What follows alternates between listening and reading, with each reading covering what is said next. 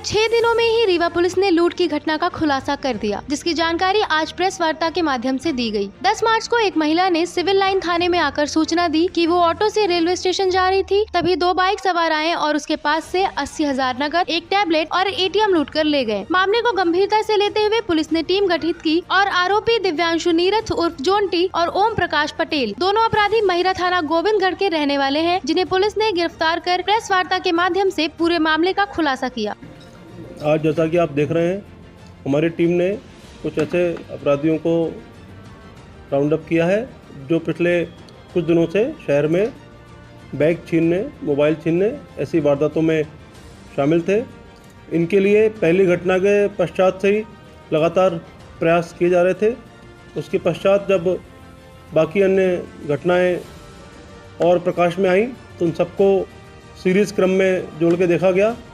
और इसमें लगातार हमारे जो थाना का स्टाफ है, उसने विभिन्न सीसीटीवी कैमरेज और विभिन्न मुखबिर जो उनके संपर्क में थे, उनको भी एक्टिवेट किया और अंत में साइबर सेल की टीम का भी रोल रहा और फाइनली पूरी टीम ने अच्छा काम करते हुए दो आरोपियों को पकड़ा है।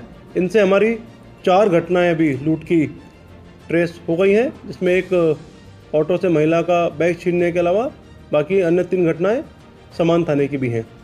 अभी आरोपी जो हैं उनमें से एक व्यक्ति जो है वो बाल अपचारी भी रहा है उसके पूर्व में उस दौरान चार अपराध थे।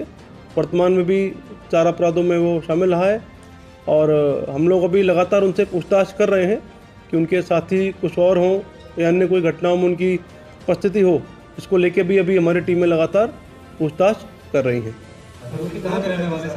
गोविंदगढ़ थाना क्षेत्र के रहने वाले हैं आरोपी। और उनमें से एक आरोपी अभी कुछ दिनों पूर्व लौट के आया है, बाहर नौकरी करता था, ऐसा उसने बताया है। जहाँ पर वो काम करता था, हम लोग एक बार उस ज़िले में भी संपर्क करेंगे कि वहाँ कहीं कोई घटनाक्रम तो ऐसा नहीं है, जिसके चलते ये लगातार दो तीन महीने से रीवा में थे। और अभी पूछताछ शुरू हुई है तो उसमें भी समय लगेगा इन्वेस्टिगेशन में, और जो भी फैक्ट्स और चीज़ें सामने आएँगी, आपको हम लोग कल भी शेयर करेंगे। पुराना भी कोई अपराधी रिकॉर्ड रहा? मैंने आपको बताया कि जब वो नाबालिग थे तो चार उनके अपराध थे और उसके पश्चात अभी जो वर्तमान में जो अपराध आपको दिख रहे हैं एक सिविल लाइन और तीन सामान के कुल चार अपराध अभी के हैं।